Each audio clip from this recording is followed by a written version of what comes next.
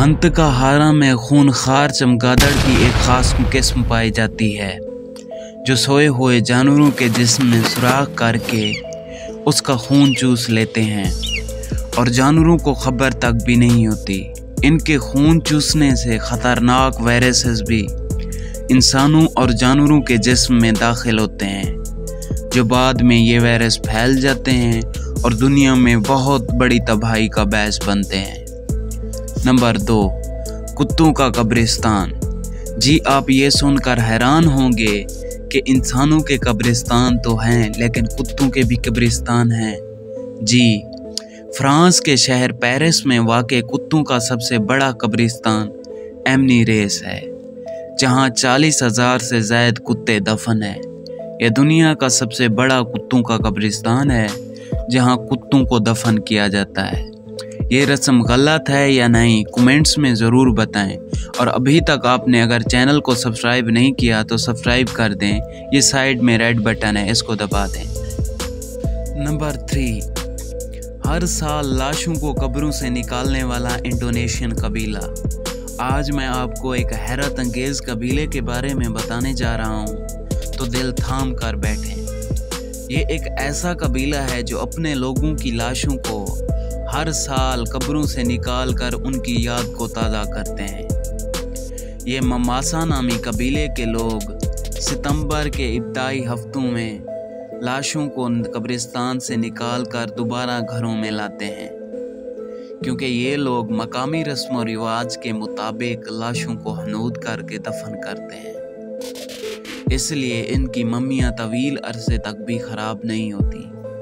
त्यौहार के दौरान घर लाए लाशों को गसल देकर इन्हें नए कपड़े पहनाए जाते हैं। और इसके अलावा इन लाशों को ज़िंदगी में जिस चीज़ से भी शौक हुआ करता था, मसलन फ़ैशन, ऐनक, घड़ी वगैरह वगैरह, इनके शौकिया कामों को इनकी डेड बॉडी के साथ किया जाता है और फिर नए सिरे से मिसाला लगा कर दफन किया जाता है। इंडोनेशिया के सूबे जनूबी सलावेसी में लाशों को कब्रों से निकालने की तकरीबात का सिलसिला एक हफ़्ते तक जारी रहता है। ये रस्म मजकूरा सूबे के तोराजा नामी इलाके में जारी रहता है। तोराजा के लोग हर साल लाशों को कब्रों से निकालते हैं। इन तकरीबात को जश्न के तौर पर मनाया जाता है। इस रस्म को मकामी ज़बान में मैनिन कहा जाता है। तो राज्यों के बासियों का ताल्लुक वैसे ईसाई मज़हब से है और वो अपने लाशों को ईसाई मज़हब के रिवाज के मुताबिक दफन करते हैं। ताहम इनका अकीदा है कि इंसान मरने के बाद भी अपने घर वालों के साथ रहता है। नंबर फोर, जलाद परिंदा। शरामिक एक जालिम परिंदा है, जिसे जलाद परिंदा भी कहते हैं। ये शिकार करता है और शिकार को नींद जान कर लेता है। और इसका दम तोड़ता है ताकि परिंदों को तड़पता हुआ देखकर ये बहुत खुश हो। जब शिकार ठंडा हो जाता है तो वो उसे टुकड़े टुकड़े करके खाना शुरू कर देता है और सेकंड्स में शिकार को खा जाता है।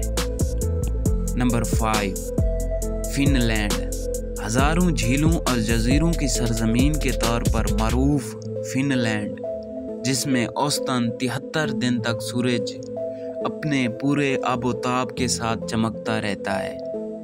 जबकि मौसम सरमा में इस इलाके में सूरज सिरे से तलु नहीं होता। इसी बिना पर यहाँ के मकामी लोग गर्मियों में कम, जबकि सर्दियों में ज़्यादा सोते हैं। Number six. भारत के रियासत प्रतापगढ़ के हिंदू महाराजा ने एक जंग में रियासत गरवारा के हिंदू राजा को शिकस्त दी। और शिकस्त देने के बाद एक गिदड़ को ताज पहनाकर बारह बरस तक रियासत गरवारा का राजा बनाया। वो अक्लमंद इंसान था या बेवकूफ़, ये आप कमेंट में ज़रूर बताना। नंबर सेवन, सबसे छोटा कीड़ा। सबसे छोटा कीड़ा अमेबा है, जिसकी लंबाई एक इंच होती है। ये तालाबों और झोड़ों में पाया जाता है। ये दुनिया का सबसे छोटा कीड़ा है। नंबर एट, शीशे का सांप। शुमाली अमेरिका में शीशे का सांप पाया जाता है, जिसे पकड़ना मुश्किल होता है, क्योंकि इसको जैसे ही छुआ जाता है, ये खुद ब खुद टुकड़े टुकड़े हो जाता है। नंबर नाइन, दरख्तों पर चढ़ने वाले बकरे। ऑस्ट्रेलिया के बाज़ इलाकों में बकरे पाए जाते हैं, जो मछलियाँ भी खाते हैं और दरख्तों पर भी चढ़ जाते हैं। नंबर टेन, दुनिया की सबसे बड़ी छिपकली। दुनिया की सबसे बड़ी छिपकली का नाम मोररीगोन है? जो दुनिया की सबसे बड़ी छिपकली है, जिसकी लंबाई साढ़े तीन मीटर है और इसका वज़न 135 किलोग्राम है। ये छोटे छोटे बकरियों के बच्चों को ज़िंदा निगल जाती है। नंबर अलेवन सींगों वाले मेंढक। ब्राज़ील में ऐसे मेंढक पाए जाते हैं जिनकी आँखों के ऊपर छोटे छोटे सींग होते हैं और वो कुत्तों की तरह भौंकते हैं। अगर घोड़े को काट लें तो घोड़ा मौके पर मर जाता है। नंबर ट्वेल्व, छोटा बंदर। जनूबी अमेरिका में एक ऐसी नस्ल का बंदर पाया जाता है, जिसकी लंबाई तकरीबन साढ़े पाँच इंच होती है। ये दुनिया का सबसे छोटा बंदर है। नंबर थर्टीन हैरत अंगेज कीड़ा। लोबस्टर एक कीड़े का नाम है और इसे हैरत अंगेज कीड़ा भी कहते हैं, जिसकी लंबाई तकरीबन पाँच इंच होती है। ये दुनिया का हैरत अंगेज कीड़ा है। नंबर फोर्टीन गूँगा परिंदा। ये परिंदा सारिस नाम रखता है और ये बोलता नहीं है। इसे गूँगा परिंदा भी कहा जाता है। और जब उड़ता है तो आवाज़ें भी नहीं निकाल सकता। इसलिए इस परिंदे को गूँगा परिंदा कहते हैं। उम्मीद है कि वीडियो आपको पसंद आया होगा और उम्मीद करता हूँ कि वीडियो आपको बहुत अच्छी लगी होगी और कमेंट्स में नीचे अपनी राय ज़रूर बताएँ। और अभी तक अगर आपने इस चैनल को सब्सक्राइब नहीं किया तो सब्सक्राइब भी कर दें, वीडियो को लाइक भी कर दें और वीडियो को शेयर भी कर दें। मिलते हैं अपनी अगली वीडियो में।